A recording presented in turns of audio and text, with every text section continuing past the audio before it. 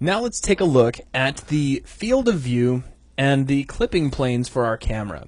Now, the field of view allows us to control the angle of our lens, which is a lot like controlling the zoom on a real world camera. Correct.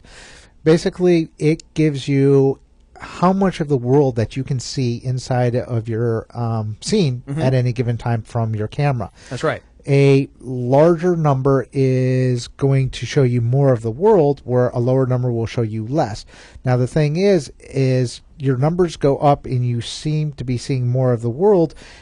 Everything seems to get pushed further away from you. That's right. Now we can actually demonstrate that. Here inside the field of view, as I drag this slider around, you can check inside the camera preview and see we start to get that kind of walleye wide angle lens effect.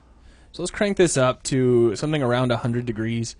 And if we hit play, you can see we get this really wide angle look.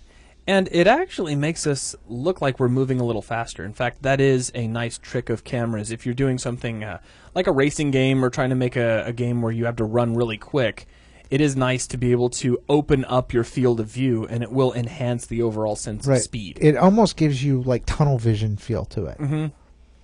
Whereas if you change it and you lower your field of view, In fact, let's see if we could do that uh, while we're just sitting here. So I'm going to hit uh, Control Shift P and pause the view. We'll switch back over to the game mode or game view, excuse me. And now we can pull our field of view down, and you can see it's just like zooming a camera. right? What it's doing is it's narrowing your overall field. Of, what happened? Oh, you hit. I hit I hit play, so let's go ahead and just do that, and then I'll I'll play again. All right.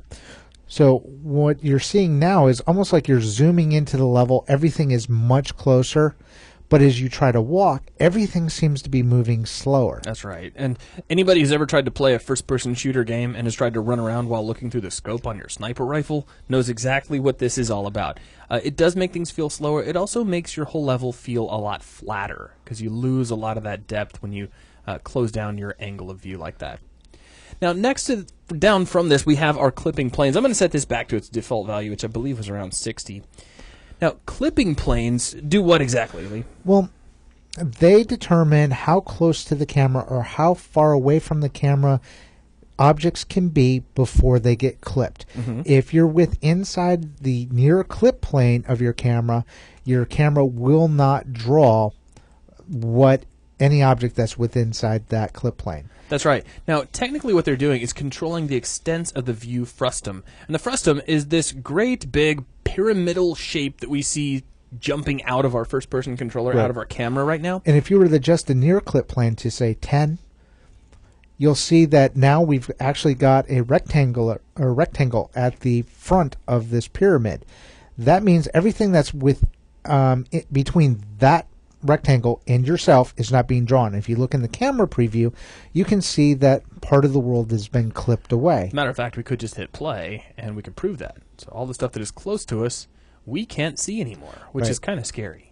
And it, this is actually kind of useful to help um, prevent you from looking through objects when you get too close to them. Right, you can adjust that near clip plane. I'm going to put this back to 0.3, and let's take our far clip plane, and I'll pull this back to a value of, I don't know, let's say about 15.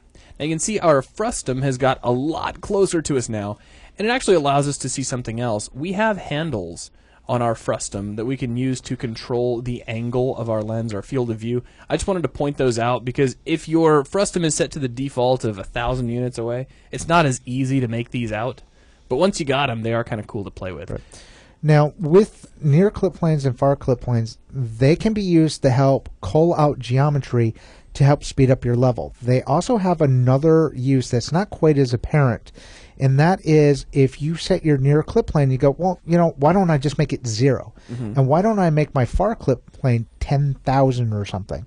What ends up happening is if you have objects in your scene that are really close to each other, let's say you have a picture frame that has a picture on it, And they're two separate objects. and it's a separate object and it's laying right on top of a wall. As that gets farther away from the camera, if your near clip plane and far clip plane are um, so far apart, the camera cannot differentiate near enough what surface it should draw on top of the other. That's right, because when you have such a wide spread from where you begin your calculation, being the near clip plane, and where you end the calculation, being the far clip plane, you need a much higher degree of precision to figure out what to draw in front of other things. This can lead to object flickering for objects that are really close to each other. And this is actually something you'll see in a lot more than just Unity. Uh, I've seen that uh, exact same thing take place in Maya if you set your far clip plane far, you know, too far away. So it's a common thing with uh, rendering in computers. Correct. Now, uh, with all of that said, I think that's pretty much everything I wanted to cover in this video, just to give you an idea of your field of view and your near and far clip planes. Now, the use of the clip planes is something we're going to take a look at when we get to the multi-camera setup here in just a little bit. I'll show you how you can take one camera and have a very close far clip plane on it. I know it sounds funny to say that, a close far clip plane. But we'll use one camera that can only see to maybe about 20 yards ahead of us. And then another camera that begins at 20 yards and allows us to see everything else out in the distance and how we can differentiate the data that is visible from one camera to the next. And again, that's something we'll take a look at a little bit later, but clipping planes will be vital to setting up something like that. In the meantime, that will wrap things up for this video. Thank you very much for watching.